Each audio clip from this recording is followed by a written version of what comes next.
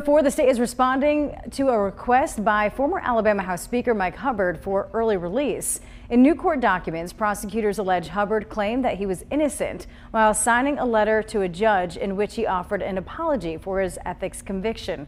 The state says this shows the former politician is not being truthful. It also claims that he talked to his friends about adding language to a piece of legislation that could aid in his release.